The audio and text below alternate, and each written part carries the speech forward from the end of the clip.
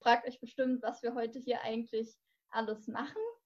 Ähm, als allererstes werden Miriam und Paulina ähm, einen kurzen thematischen Einstieg ähm, geben ins Ernährungssystem. Miriam und Paulina haben die Webinarreihe auch organisiert.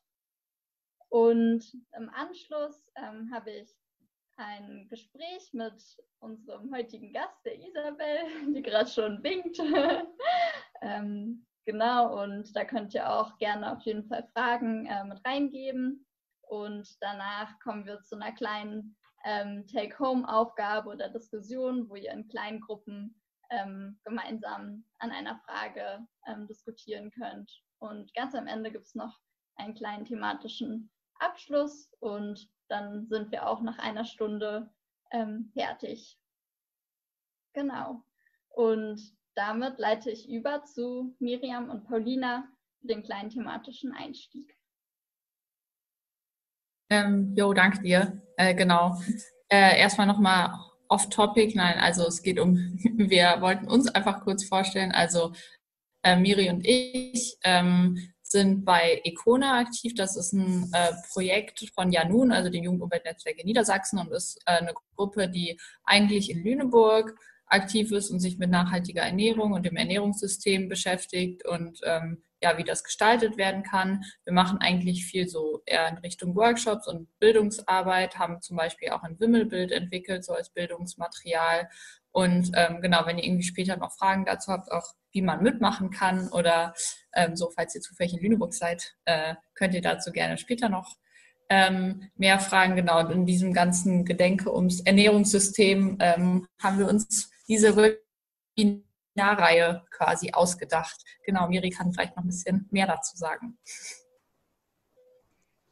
Ja, genau. Ähm, erstmal Hallo auch von mir. Schön, dass ihr da seid. Ähm, als das mit den äh, Corona-Zahlen in die Höhe stieg und immer mehr Maßnahmen erlassen wurden, um die Pandemie einzudämmen, hatten wir das Gefühl, dass über bestimmte Aspekte, äh, wie sich Corona auf das Ernährungssystem äh, auswirkt, in den Medien berichtet wird oder die Thema sind äh, und zum Beispiel ja hervorkommen, ob die, obwohl sie vielleicht schon immer ein Thema waren, aber jetzt irgendwie präsenter werden, wie zum Beispiel, ähm, dass ErntehelferInnen nicht einreisen konnten und dadurch natürlich auf den Feldern gefehlt haben. Und ähm, wir hatten das Gefühl, dass die Auswirkungen von Corona auf das Ernährungssystem noch deutlich größer sind als diese einzelnen Aspekte, die in den Medien diskutiert wurden.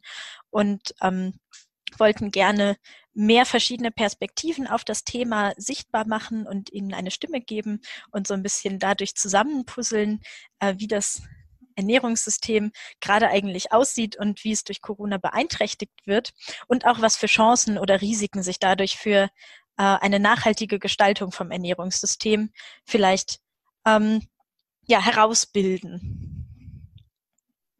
Das war so unsere Grundidee dabei, ähm, weswegen wir diese Seminarreihe ins Leben gerufen haben. Ähm, ja, genau. Und äh, genau, vielleicht noch kurz zum ähm, Ernährungssystem, was das so ist.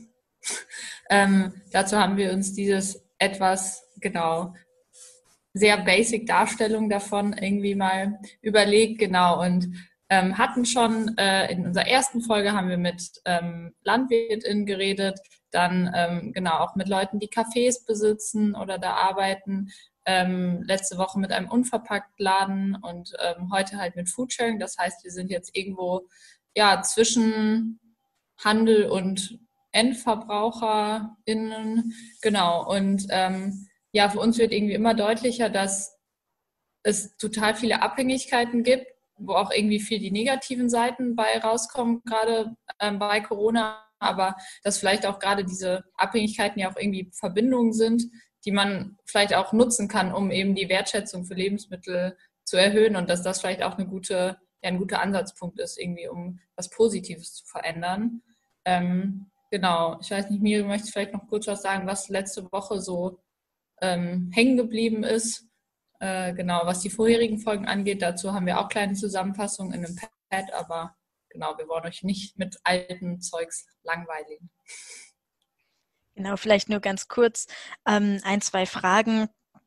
Oder, oder Eindrücke. Ähm, wir haben letzte Woche mit Ingo gesprochen, der in einem Unverpacktladen arbeitet und es war sehr spannend zu beobachten, dass dort zuerst die Einbrüche tatsächlich etwas zurückgegangen sind, weil die Leute vielleicht äh, dem Unverpackten in dieser ja doch speziellen Situation nicht mehr so vertraut haben und ähm, sie dann eben viel Kommunikationsarbeit betreiben mussten, um halt zu zeigen, dass sie schon immer sehr hygienisch gearbeitet haben und ja auch arbeiten müssen, weil sie ja mit unverpackten Lebensmitteln arbeiten, ähm, was jetzt auch eben dazu führt, dass ja trotzdem wieder viele Stammkunden da sind und bleiben. Ähm, und sich eben auch schon einige Leute, obwohl natürlich ich sage mal so, das Einkaufserlebnis gerade äh, nicht mehr so angenehm ist wie sonst, äh, viele Leute auch trotzdem so bedankt haben, dass sie trotzdem noch offen haben, trotz der Situation. Das ist auch was, ähm, was wir in der Folge vorher bei Frieda und Denise, die beide Cafés betreiben, äh, gemerkt haben. Sie haben versucht, mit der Schließung so umzugehen, dass sie eben alternative Formen wie zum Beispiel Lieferdienste äh, oder Fensterverkauf etablieren und da eben auch viele Kunden, Kundinnen sehr dankbar waren, dass es dass sie nach wie vor eben aktiv sind. Und ähm, Genau, beim Unverpacktladen war relativ klar, okay, naja, die Belieferung mit Lebensmitteln ist natürlich systemrelevant und da sind auch die unverpackten Lebensmittel im Unverpacktladen auch ein Teil von. Ähm, das ist vielleicht bei den Cafés zum Beispiel nicht so eindeutig gewesen, doch ähm, da hängen eben auch viele mit dran, wie zum Beispiel die Produzenten, die Produzentinnen, ähm, die wir in der ersten Folge hatten, ähm, äh, da haben wir mit zwei Landwirtinnen geredet, ähm, die eben auch davon abhängig sind, natürlich ihre Sachen verkaufen zu können. Ähm, insofern haben wir schon gemerkt, es gibt sehr viele Verknüpfungen zwischen den einzelnen Akteuren, Akteurinnen. Und genau heute äh, bekommen wir nochmal einen spannenden Blick an das Ende der Kette sozusagen, äh, an die Lebensmittel, die irgendwie bei niemandem gelandet sind. Ja, vielen Dank euch beiden für den ähm, schönen Einstieg. Ähm, und an der Stelle möchte ich auch alle nochmal willkommen heißen, die in den letzten Minuten so dazugestoßen sind. Schön, dass auch ihr da seid. Und genau, jetzt möchte ich Isabel auf unserer kleinen virtuellen Bühne begrüßen. Auch schön, dass du da bist heute. Danke. Isabel, Isabel ist ähm, seit der Gründung von Foodsharing im Dezember 2012 mit bei Foodsharing dabei und seit drei Jahren auch Botschafterin für Foodsharing in Bonn. Also hat eine Art leitende Funktion in der Gruppe, organisiert Veranstaltungen für Foodsharing, ähm, ist für die überregionale Vernetzung von Foodsharing zuständig ähm, und genau leitet viele andere Sachen dort und macht natürlich auch immer mal wieder Abholungen. Und ähm, genau, Isabel, vielleicht möchtest du noch mal kurz ein paar Worte zu Foodsharing sagen? Wie genau funktioniert das? Ja, gerne. Danke erstmal auch für den Einstieg von mir. Ähm, ja, also ich weiß jetzt nicht genau, wie viele von euch schon Foodsharing kennen. Im Prinzip geht es bei uns darum, Lebensmittel vor der Tonne zu bewahren, die man eigentlich noch essen kann. Also es ist so, in Deutschland werden ungefähr 18 Millionen Tonnen an Lebensmitteln pro Jahr weggeworfen. Und das eigentlich Schlimme daran ist nicht, also die Zahl an sich ist auch übel, aber 10 Millionen Tonnen davon wären halt noch essbar gewesen. Und das ist halt das, wo wir uns dann einsetzen, eben diese 10 Millionen Tonnen irgendwie noch ja, vor der Tonne zu bewahren. Und das läuft so über, naja, ich sag mal zwei Felder. Das ist einmal die aktive Lebensmittelretterarbeit. Das heißt, wir bauen mh, hm, immer so lokal ähm, Kooperationen auch mit beispielsweise Supermärkten, mit Bäckereien, mit Cafés, mit allem, was man sich so vorstellen kann, wo es eben Lebensmittel in irgendeiner Form gibt. Und ähm, ja, gehen mit denen eben Kooperationen ein, dass diese uns die Lebensmittel geben, die sie sonst entsorgen würden und verteilen die eben weiter. Das ist so ein bisschen das Prinzip der Tafel. Nur, dass es bei uns eben nicht darauf ankommt, wer es dann im Endeffekt ist, sondern dass es überhaupt gegessen wird. Das heißt, das ist egal, wer das dann konsumiert. Hauptsache, es wird gegessen. Mm. Und auf der anderen Seite gibt es diese, ich sag mal, etwas niedrigschwelligere Arbeit, diese Öffentlichkeitsarbeit, Bildungsarbeit. Ähm, wir versuchen sehr viel im Bereich Bildung zu machen, ähm, Aufklärung von VerbraucherInnen ähm, in Bezug auf Lebensmittelverschwendung, Lebensmittelwertschätzung, ähm, Ernährungssouveränität, Ernährungssicherheit, ähm, so diese ganzen Schlagwörter, die man im Prinzip kennt und eben aufzuzeigen, wie man sich den Lebensmitteln wertschätzend gegenüber ähm, verhalten kann, wie man besser planen kann und so weiter und so fort. Und ähm, das passiert auf der einen Seite natürlich über ganz klassisch ähm, Interaktion mit Menschen, dass man sich, ähm, dass man in eine Schule geht, dass man vielleicht auf irgendwelchen ähm, Stadtfesten steht und ähm, mit den VerbraucherInnen Spiele macht oder sowas. Ähm, auf der anderen Seite aber auch beispielsweise über öffentliche Kühlschränke, öffentliche Schränke, wo eben alle Menschen Lebensmittel reintun können, die sie nicht mehr verwenden möchten oder nicht mehr essen möchten und sich eben genauso gut aber auch Lebensmittel rausnehmen können. Ähm, das sind die sogenannten Verteiler. Und die gibt es im Prinzip, also bei uns gibt es, ich glaube, neun oder so im ganzen Stadtgebiet. Es ist aber von Stadt zu Stadt unterschiedlich.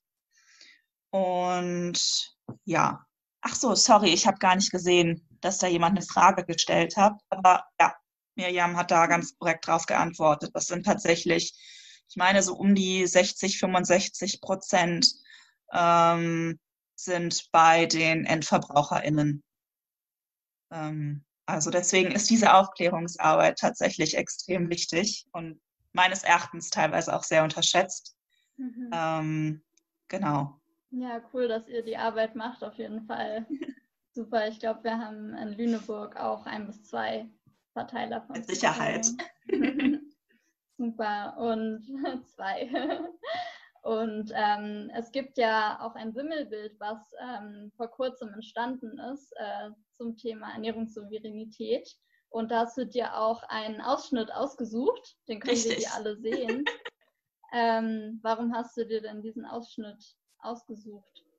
Ich fand den auf zwei äh, Weisen sehr relevant für, für mich oder für das Thema und für Foodsharing.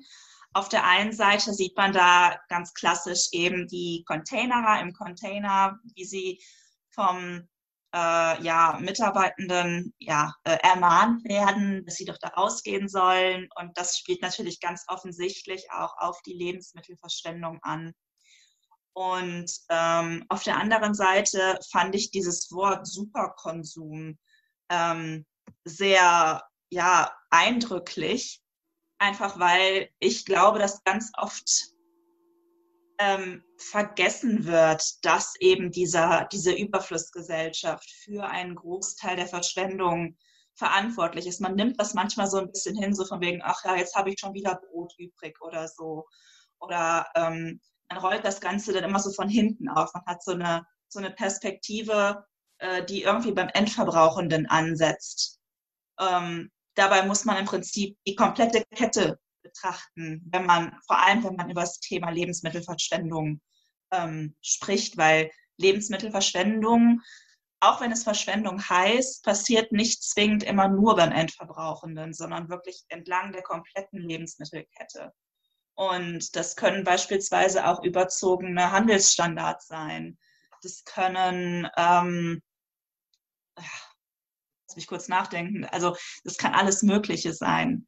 Und ähm, im Endeffekt steht aber die mangelnde Wertschätzung und die, die Überflussgesellschaft, die eben nicht mehr wirklich weiß, wie oder was für einen Wert Lebensmittel eigentlich haben, ähm, weil sie monetär nicht mehr so viel wert sind, beispielsweise wie früher, ähm, hinter der Verschwendung. Und deswegen gilt es, das eben, ja, darauf aufmerksam zu machen. Und deswegen fand ich dieses Superkonsum sehr schön. Okay. Ja, ich bin sehr gespannt, gleich mehr äh, ins Gespräch einzutauchen. Ähm, genau, äh, für alle, die ähm, das Wimmelbild sich nochmal genauer angucken können, das könnt ihr online auf der Webseite von Janun sehen. Genau, Miriam hat ja schon den Link in den Chat gepostet. Und ähm, in den nächsten, für die nächsten Minuten ähm, haben wir uns natürlich auch ein paar Fragen ähm, an Isabel überlegt, aber wir wollen euch alle dazu ermutigen, ähm, auf jeden Fall mitzudenken und Fragen in den Chat zu schreiben, die ihr an Isabel habt. Und ich werde die dann im Gespräch mit einbringen, auf jeden Fall. Genau. Ähm, ja, Isabel, ähm, was uns natürlich sehr interessiert ist, ähm, wie sich die Situation bei euch bei Foodsharing in den letzten Wochen so verändert hat durch Corona. Ist euch da was aufgefallen? Ja, also so Mitte März war, glaube ich, das Stressigste, was ich jemals bei Foodsharing mitgemacht habe, äh, zumindest in meinen Zeiten als Botschafterin. Ähm, da hat es halt gerade angefangen mit den ganzen Einschränkungen und ähm, das halt, ich habe, also da hatten wir wirklich das Gefühl, dass so im Stundentakt eine neue Regelung reinkam und wir irgendwie alles immer wieder über den Haufen werfen mussten und das war, das war richtig anstrengend. Und ähm, ja, also die Problematik äh, ist ja, also auf der einen Seite haben wir die Kontaktsperren und ähm, das führt halt dazu, also Foodsharing ist im Prinzip ein soziales Netzwerk. Es, ist, es geht nicht nur um Lebensmittel, sondern es geht darum, miteinander, also es heißt Foodsharing, man muss teilen. Und wenn ich niemanden zu teilen habe, ist das halt alles ein bisschen schwierig. Ähm, also bei uns ist es mittlerweile so, dass wir alle Abholungen alleine durchführen. Ich kann nur für Bonn sprechen. Ne? Also es, ist, es gibt so viele andere Bezirke, da läuft es anders. Ähm, wir haben aber beschlossen, dass wir wirklich alle Abholungen, auch Abholungen, wo man normalerweise zu dritt hingehen würde, alleine machen. Ähm, teilweise machen wir das mit gestaffelten ähm, Abholungen. Das heißt, einer geht zum Beispiel um 18 Uhr zum Supermarkt und der andere kommt dann um 19 Uhr, wenn der andere schon weg ist. Hm, dass man sich einfach nicht begegnet. Hm, bei uns sind alle Verteiler zu. Das ist auf der einen Seite, weil viele Verteiler eben auch in Einrichtungen waren, die einfach jetzt für den Publikumsverkehr geschlossen sind. Auf der anderen Seite möchten wir aber auch vermeiden, dass sich Menschenansammlungen an Verteilern bilden und das einfach, ähm, es ist eine Vorsichtsmaßnahme dann auch bei den öffentlichen, also bei den Schränken, die wirklich nur draußen stehen, ähm, dass sich da erstens keine Menschen bilden. Zweitens müssen wir die natürlich auch täglich putzen. Das heißt, ähm, gerade als es so akut war, wollten wir halt auch nicht, dass unsere Foodsaver extra rausgehen, nur um den Verteiler zu putzen. Und da haben wir dann gesagt, okay, wir machen die dann direkt komplett zu. Ähm, ja, und wir haben natürlich auch keine Treffen mehr. Also es ist alles nur noch online. Wir haben unser monatliches Treffen, was wir normalerweise mit allen Foodsavern machen. Ähm, es, es, findet jetzt online statt. Unser Neulingstreffen findet online statt. Ähm, wir besprechen uns im Botschafterteam nicht mehr irgendwie persönlich, äh, sondern es geht nur noch über auch so Zoom, Skype, Jitsi. Ähm, ja, also es ist alles nicht mehr so sozial quasi. Also ähm, klar, natürlich, man macht immer noch Sachen irgendwie zusammen und man merkt schon, dass es auch irgendwie mehr zusammenrückt. Aber ähm, ja, hm. das ist äh, also das, das ist schon echt schade. Manche Abholungen sind noch komplett ausgesetzt. Also da haben wir auch gesagt, ähm, beispielsweise haben wir eine Kooperation oder Kooperation mit Backshops und da ist eben ähm, die, die Verteilung der Lebensmittel sehr, naja, kontaktfreudig, sage ich mal. Und man muss mit vielen Leuten interagieren, weil man gibt nicht einfach an eine Person zehn Brötchen mit Salami, sage ich mal. Also ähm, sondern das, es müssen einfach mehr Leute sein. Und da wäre sehr viel Kontakt involviert. Und da haben wir dann gesagt, okay, das können wir im Moment einfach nicht machen. Ähm, mhm. Manche haben auch von sich aus einfach gesagt, wir machen das jetzt nicht. Manche Kooperationen, vor allem die mit zubereiteten Lebensmitteln. Ja. Okay. Genau. Und ähm, wie genau, also wo genau kommen die Lebensmittel jetzt hin, ähm, die ihr abholt, wenn die ganzen Verteilerstellen geschlossen sind? Also es war zum Glück so, dass wir schon im Vorhinein sehr wenig in Verteiler getan haben. Verteiler sind wirklich Lebensmittel, Orte, sag ich mal, oder Stationen, wo von privat zu privat verteilt wird. Also in Verteiler tun wir oder wir halten unsere Food Saver dazu an, keine, Verteil keine Abholungen in Verteiler zu tun. Einfach weil das äh, rechtlich eine ziemliche Grauzone ist.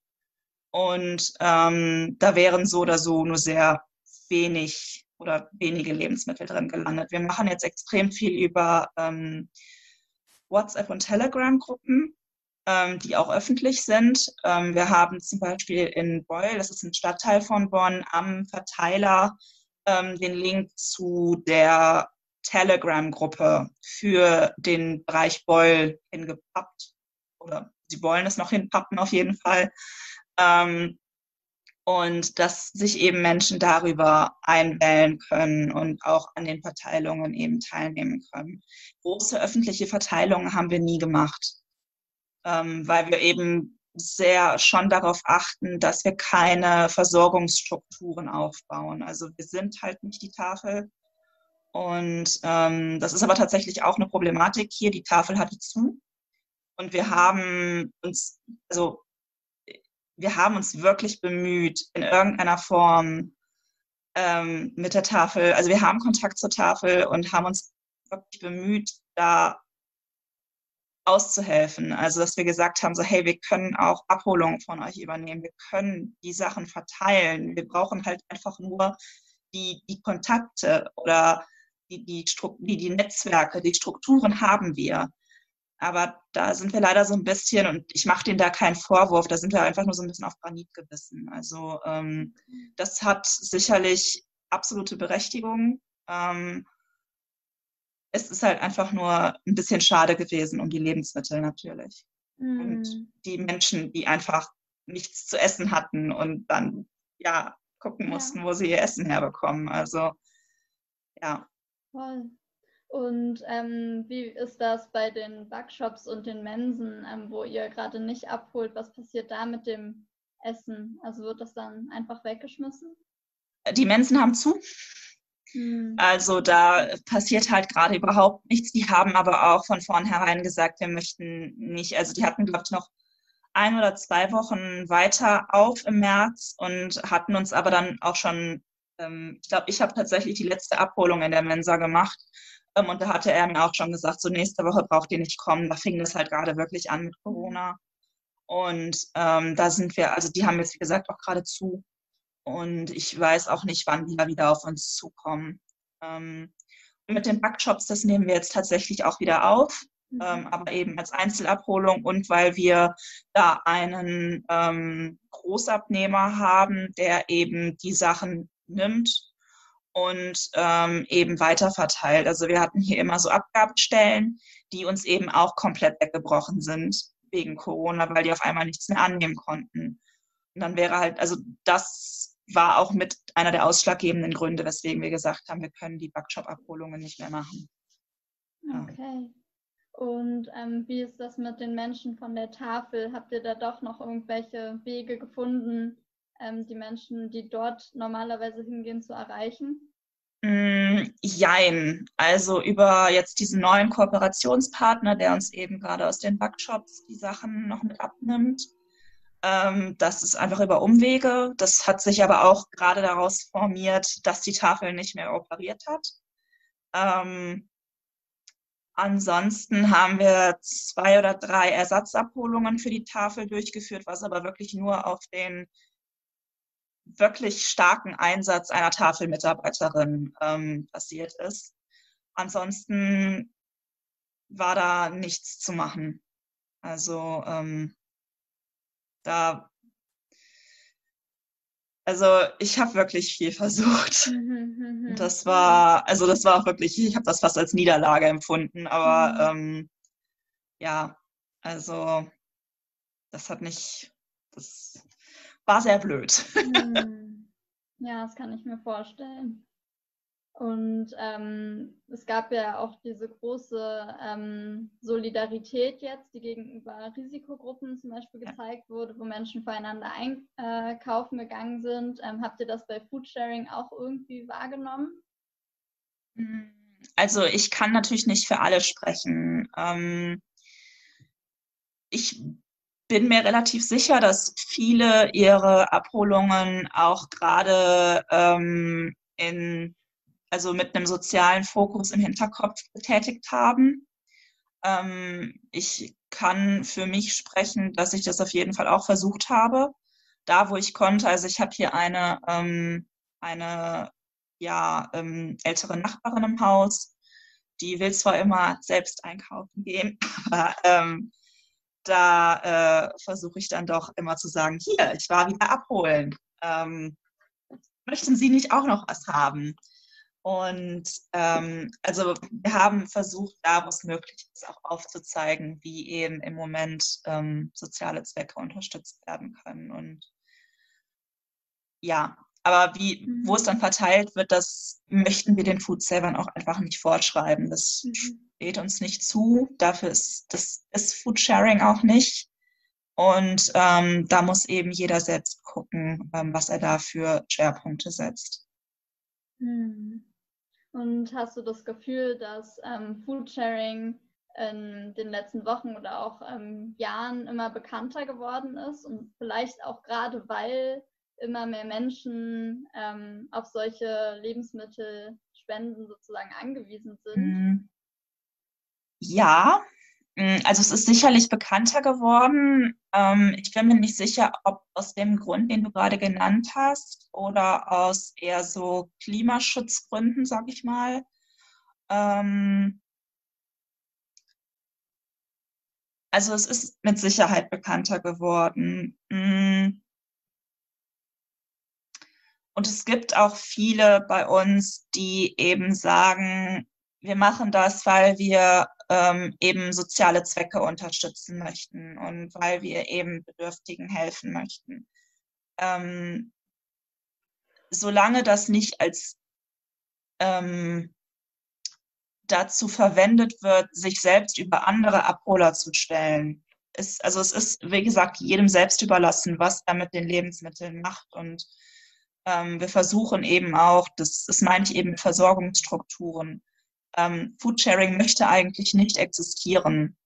Und ähm, so, sobald man Versorgungsstrukturen schafft, macht man sich selbst relevant. Also ähm, und macht sich selbst zu einem Akteur in dem Ganzen.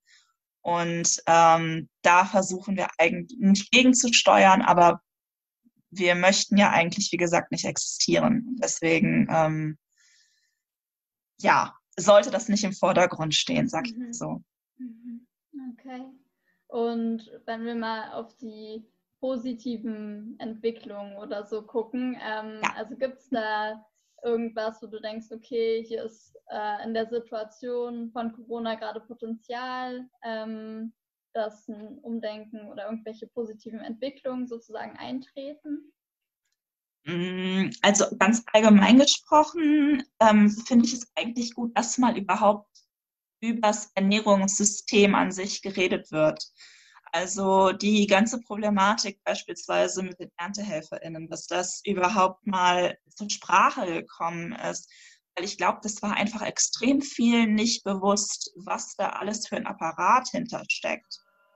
Ähm, und ähm, dass in dem Zuge eben auch ja, gesehen wird, was für einen hohen Stellenwert wir eigentlich unserem Ernährungssystem einräumen sollten. Also ähm, jetzt, wo die ganzen Hamsterkäufe am Anfang getätigt wurden und ähm, die Regale im Endeffekt leer waren, ähm, dass man dann vielleicht einfach gemerkt hat, äh, ja, es ist irgendwie nicht so cool, wenn die Regale leer sind. Und ähm, was man eigentlich, ja, also dass es wirklich wichtig ist für einen und dass man das immer für so, für, für gegeben, also für, es ist einfach da, aber es ist eigentlich, weiß ich nicht, es ist so, es, ist nicht ähm, gesetzt, dass es immer da ist. Und ähm, das einfach, dass sich das herausgestellt hat. Für uns jetzt konkret bei Foodsharing, ähm, also ich, ich hoffe, oder was, was ich ganz schön fand, auch wenn alles jetzt online stattfindet, auch unsere Monatstreffen, ist uns doch aufgefallen, dass es gar nicht mal so schlecht ist, vielleicht auch wenn die Kontaktsperre wieder weg ist. Also was heißt weg, aber das, wenn man sich mal wieder treffen kann. Ähm, dass man vielleicht doch so einmal im Monat so einen kleinen Plausch macht. Und wenn der nur online ist, irgendwie so ein halbes Stündchen. Das kann auch zu einem bestimmten Thema sein. Weil das ist ein Angebot, das können wir machen. Also das ist sehr unaufwendig und ähm, ja, also das, das halten wir sicherlich auch bei, vielleicht sogar auch bei den Neulingstreffen. Also da müssen wir noch mal gucken. Cool. Ja. Und ähm, du meintest ja auch am Anfang, dass ähm, ein Problem, warum Lebensmittel zum Beispiel nicht so viel wertgeschätzt werden, ähm, der Preis ist, weil der mhm. ähm, recht niedrig ist. Ähm, und jetzt ist es ja so, dass Gemüse und zum Beispiel auch Spargel wohl teurer werden soll. Ja. Ähm, aufgrund der Situation ist das dann sozusagen eine Chance? Ich hoffe schon. Ähm, ich habe auf der anderen Seite auch ein bisschen Angst, dass dadurch natürlich mehr Verschwendung passiert, weil die Menschen so an die niedrigen, an die niedrigen Preise gewöhnt sind ähm, und natürlich in dieser momentanen Situation auch einfach nicht mehr verdienen, sondern eigentlich fast noch weniger als vorher. Und dadurch kann es natürlich sein, dass gerade bei den, bei den saisonalen Lebensmitteln wie eben Erdbeeren und Spargel, dass sich das einfach in Anführungszeichen niemand mehr leisten kann. Ähm, dass dadurch eben wieder mehr übrig bleibt. Und ja, also es ist ein echt zweischneidiges Schwert, aber ähm, ich hoffe, dass es einfach als Chance wahrgenommen wird, ähm, um den Lebensmitteln ihren eigentlichen Preis wieder zurückzugeben, zumindest auf finanzieller Ebene. Hm. Okay. Und ähm, genau, dann äh, habe ich noch eine Frage ähm, oder eine vorletzte Frage. Ähm, genau, also ähm, du hast ja schon ein bisschen ähm, gerade aufgezeigt, wo im Ernährungssystem schon Schwachstellen ähm, sozusagen zu, zutage gekommen sind oder aufgezeigt wurden, bei fehlenden ErntehelferInnen zum Beispiel oder jetzt in den Schlachtbetrieben. Mhm. Hast du eine Idee, was als nächstes sozusagen äh, vielleicht in den Mittelpunkt der Aufmerksamkeit rücken könnte? Also es wäre natürlich schön, wenn ein bisschen mehr noch dann, also gerade mit der Problematik, dass ich jetzt zum Beispiel, dass das einfach Spargel und Erdbeeren teurer sind und es dadurch wahrscheinlich einfach mehr übrig bleibt, könnte es natürlich sein, dass die Lebensmittelverschwendung in irgendeiner Form wieder in den Mittelpunkt wird. Ähm, Fände ich auch mal wichtig. Also es ist immer so, ich finde, es ist immer so ein begleitendes Thema und man redet mal so ein bisschen darüber und ach ja, es wird so viel weggeschmissen, dann kommt irgendwie so einmal in der Woche oder so, kommt in irgendeiner Tageszeitung auf lokaler Ebene mal so ein kleiner Artikel über den Supermarkt, der irgendwie so viel wegwerfen muss und nicht weiß, was er damit tun soll. Ähm, aber so ein richtiger Aufschrei, finde ich, den gab es halt 2012 mal. Ähm, aber seitdem ist halt nichts mehr passiert. Und ähm, das, es war jetzt so ein bisschen auch mit, den, mit der Schließung der Tafeln und dass halt gesagt wurde, ja, und jetzt haben die Supermärkte ja so viel übrig und aber es wird halt nicht darauf geguckt oder wurde nicht darauf geguckt, ja, warum haben denn die Supermärkte so viel übrig? Und ähm, es ist halt immer nur ans Ende geguckt worden. Und dass doch die Bedürftigen, ich kann das Wort nicht leiden, sorry, ähm, dass die doch nicht versorgt werden können. Aber von der anderen Seite her gedacht, sollte eigentlich niemand auf anderer Leute Reste angewiesen sein. Und ich würde mir sehr, sehr wünschen, dass der Diskurs sich so ein bisschen dreht, also von der anderen Seite das mal aufgezogen wird. Das wäre schön, wenn das passiert, aber da bin ich mir noch nicht so sicher. okay, hoffen wir mal. Ja. Ähm, und dann noch als allerletzte ähm, kurze Frage. Ähm, unsere Webinarreihe heißt ja Ernährung ist systemrelevant. Ähm, würdest du dich selbst auch als systemrelevant bei Foodsharing bezeichnen? Mm, Ich würde Foodsharing als relevant fürs jetzige System bezeichnen. Das Ding ist aber, und ich glaube, das unterscheidet uns auch vielleicht so ein bisschen von anderen Akteuren in der Lebensmittelkette, ist, dass wir gar nicht systemrelevant sein wollen. Also wir möchten überflüssig sein. Und ähm, das ist aber im, im jetzigen System definitiv nicht so. Und deswegen würde ich schon sagen, dass wir als letzter Akteur in der Lebensmittelkette schon relevant sind. Okay. Ich habe gesehen, dass jetzt sogar noch eine Frage im Chat Ah ja. ähm, aufgeploppt ist. Gibt es Supermärkte, die die Lebensmittel lieber wegwerfen, statt sie zu verteilen, aus Angst, dass nichts mehr gekauft wird? Das gibt es leider. Also es gibt sicher, also es gibt Supermärkte, aber ich will es nicht auf Supermärkte begrenzen. Es ist generell, es gibt welche Betriebe auch immer, die das einfach nicht wollen, aus genau dem Grund. Es gibt noch hunderttausend andere Gründe, die einem immer wieder entgegenkommen, wo man sich so denkt, "Mm, das ist ein interessanter Grund, den habe ich noch nicht gehört, nehmen wir ihn mal auf. Ähm, aber ganz oft steckt hinter Absagen auch ein großer Unwillen. Also das ist leider so, damit muss man klarkommen. Man muss irgendwann aufhören, einfach sich darüber zu ärgern. Und äh, ja, also den Grund gibt es leider wirklich. Hm, Okay. Ja, Isabel, damit sind wir auch schon am Ende unseres kurzen Danke Gesprächs euch. angelangt. Ja, es war super spannend, deine Erfahrungen da zu hören. Und ähm, genau, ähm, Isabel bleibt auch noch bis zum Schluss, vielleicht noch ein paar Minütchen länger da. Falls ihr also noch Fragen ähm, habt, könnt ihr auch noch später im Raum bleiben und dann äh, die nochmal stellen. Und ähm, genau damit äh, ist es schon Zeit für unsere kleine Take-Home-Aufgabe. Und zwar schicken wir euch gleich in Kleingruppen und ähm, so für circa zehn Minuten. Und da könnt ihr gemeinsam äh, mal in eure Kühlschränke oder Vorratsschränke gucken und schauen, ähm, was ihr davon zum Beispiel in einem Hamsterkauf äh, eingekauft habt, was ihr davon äh, verbrauchen könntet in nächster Zeit oder was vielleicht auch einfach sich nur so stapelt, obwohl ihr es eigentlich gar nicht mal so gerne mögt und eigentlich verschenken könntet oder so. Ähm, und dann könnt ihr euch darüber austauschen und im nächsten Schritt ähm, auch gucken, wo bei euch in der Stadt die nächste Verteilerstation ist oder Abgabestelle, wo ihr überflüssige Sachen äh, gegebenenfalls loswerden könnt. Genau, ähm, die Fragen schicken wir euch dann auch nochmal in die kleinen Gruppen. Alright. Ja, ich hoffe, ihr hattet äh, eine spannende Diskussion und habt alle ein paar Verteilerstellen bei euch ausfindig machen können. so ein bisschen.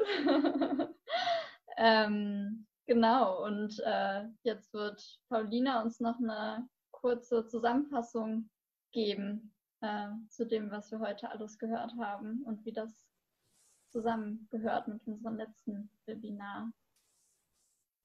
Bloß keine zu hohen Ansprüche. äh, nein, aber ähm, ich versuche mal einen runden Abschluss hinzukriegen. Ähm, vielleicht mal so ein bisschen, wo wir angefangen haben ähm, oder was sich bei Foodsharing verändert hat, dass es einfach total deutlich geworden ist, Foodsharing ist irgendwie ein soziales Netzwerk, es basiert auf Lebensmittel teilen, sich begegnen, was zusammen zu machen und das ist auf den ersten Blick überhaupt nicht konform mit Corona-Regeln. So. Dann kam aber so ein bisschen die Erkenntnis, irgendwie rückt man auch zusammen, weil man merkt, so irgendwie alle, das betrifft ja alle und gerade so neue Formate sich online treffen, das geht auch irgendwie überregional vielleicht. Also man, ähm, ja, es, es, irgendwo sind da auch Chancen auf jeden Fall auch für die interne Vernetzung von Foodsharing und das ist ja irgendwie schon mal schön. Ähm, was ansonsten gerade noch äh, zu beobachten ist und ein Foodsharing-relevantes Thema ist, war, dass ja die ganze Lebensmittelverschwendung auch daher kommt, dass Lebensmittel einfach sehr günstig sind. Ähm, jetzt gerade werden Gemüse wird viel teurer dieses Jahr auf jeden Fall. Ähm, wo ich mich auch gefragt habe, okay, wer kann sich das dann auch noch leisten?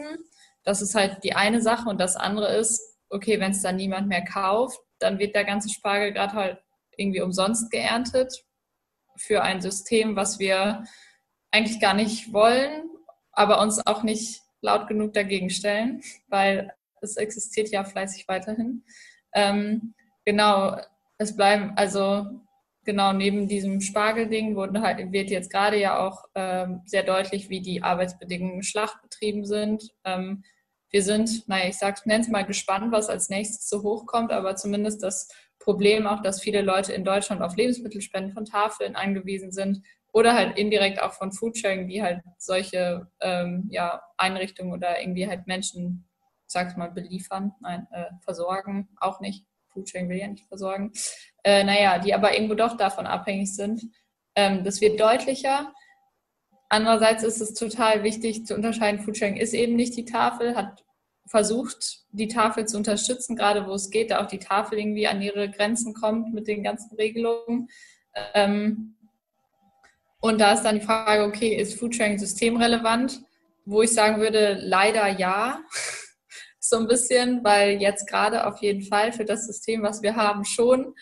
Ähm, wir sind nun in der vierten Folge und das vierte Mal wird in Frage gestellt, was für ein System wir da eigentlich haben, ähm, ohne dass wir das vor der ersten Folge so richtig intendiert hatten. Also ähm, außer dass wir dachten, lieber systemkritisch als systemrelevant und das trifft auf Foodsharing ja auf jeden Fall zu. Ähm, genau, in der aktuellen Situation ist die Systemrelevanz halt aber trotzdem da und was wir uns irgendwie, ja, glaube ich, dann auch alle wünschen, ähm, nicht nur Isabel, ist, dass sich ähm, dann die Berichterstattung und der Diskurs auch ändert über Lebensmittelverschwendung und über diese Versorgungslücken, wie auch immer, die gerade entstehen bei den, ja, den Menschen, die halt äh, zum Beispiel darauf angewiesen sind, dass es eben klar, es ist ein Fakt, Lebensmittelverschwendung passiert in Privathaushalten und es sind irgendwie gerade viele Personen von der Tafel abhängig, aber es sind nicht die Privatpersonen, die daran schuld sind, dass die Lebensmittelverschwendung so unglaublich hoch ist. Sie sind halt ein, eine von vielen und man kann an allen Stellen vom System was verändern. Aber ähm, da allein irgendwie bei den Privatpersonen anzusetzen und äh, genau, wäre vielleicht der falsche Link, sondern man erinnert an den Superkonsum und an das Wimmelbild. Ähm, und wo man jetzt die Überflussgesellschaft und die Wertschätzung für Lebensmittel steigern kann, äh, zumindest im 1 zu 1 auf jeden Fall. Äh, aber da muss auch irgendwie auf höherer Ebene mehr gehen, aber das kann ja auch von unten kommen. Würde ich mal sagen. Isabel, möchtest du noch was anschließen? Ich finde, das ist eigentlich wunderbar zusammengefasst. Ähm, nee. Ich glaube, wenn wir alle einfach ein bisschen darauf achten, auf das, was wir tun, das, was wir sagen, wie wir mit unseren Mitmenschen, aber auch mit Lebensmitteln umgehen, weil es sind immer noch Lebensmittel, die brauchen wir zum Leben. Ähm, dann sind wir, glaube ich, schon auf dem, auf einem guten Weg, zumindest persönlich. Was das Thema dann angeht, sehen wir dann mal. Ja, vielen Dank äh, einmal Paulina für den äh, schönen Überblick nochmal über einige Kernpunkte und dann auch natürlich vielen Dank an dich nochmal, Isabel, dass du heute da warst und für deine Erfahrungen oder du deine Erfahrungen mit uns geteilt hast. Und wie immer hätten wir noch viel tiefer und länger über alles äh, reden können. Ähm, aber vielleicht ist ja auch okay, mit so ein paar Fragen heute ähm, aus dem Webinar zu gehen und noch weiter darüber nachzudenken und mit Leuten zu diskutieren. Ähm, ja, mir hat das super viel Spaß gemacht und ähm, uns interessiert natürlich auch, wie ihr es fandet. Ähm, wir würden uns super freuen, wenn ihr im Chat noch ein bisschen Feedback schreiben könntet. Also wie fandet ihr es heute? Was können wir beim nächsten Mal besser machen? Ähm, und vielleicht auch, ähm, wen würdet ihr euch hier äh, wünschen in den nächsten Webinaren? Wen können wir einladen? Wir hatten jetzt schon ähm, zwei Personen aus der Landwirtschaft, zwei Menschen aus Cafés. Ähm, wir hatten eine Person aus dem Unverpacktladen, Isabel von Foodsharing. Gibt es noch andere Akteure, die euch einfallen? Also schreibt das gerne in den Chat. Und ähm, genau, während ihr äh, tippen könnt, ähm, genau, kann ich ja schon mal äh, ein bisschen weiter noch erzählen. Und zwar ähm, gibt es nächste oder übernächste Woche ähm, wieder ein Webinar, in dem wir neue ähm, Perspektiven kennenlernen und werden euch auf Telegram auf jeden Fall auf dem Laufenden halten, ähm, genau, äh, wie es weitergeht und wer beim nächsten Mal kommt.